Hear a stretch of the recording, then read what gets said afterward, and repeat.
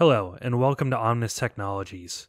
My name is Hunter, and in this video, I will be showing you how to set up Chrome Remote Desktop and how to access your PC from another PC through Google Chrome. We've seen many of our clients start using Chrome Remote Desktop due to the current pandemic, and it has helped many users quickly gain the ability to work from home. As you can see, we already have Chrome open, and we want to navigate to remotedesktop.google.com. You will be met with the home page where you'll want to click Remote Access in the top right.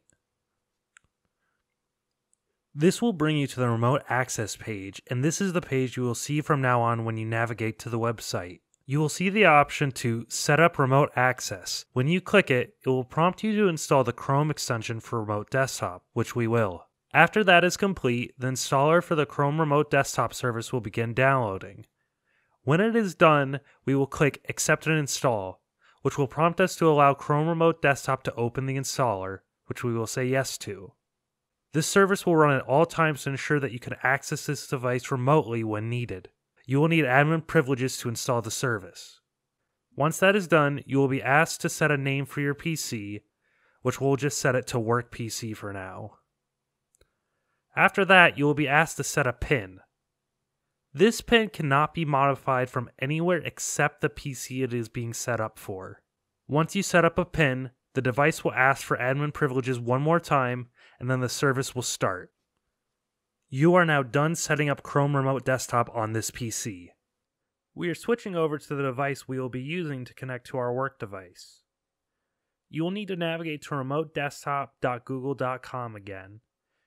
You should then see the device under Remote Devices.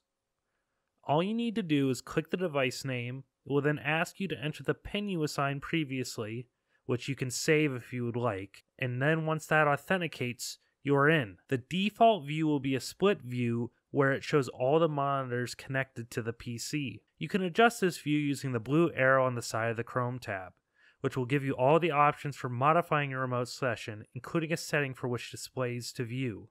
Now that you have set up and tested Chrome Remote Desktop, you are done. You are now able to access your work device remotely.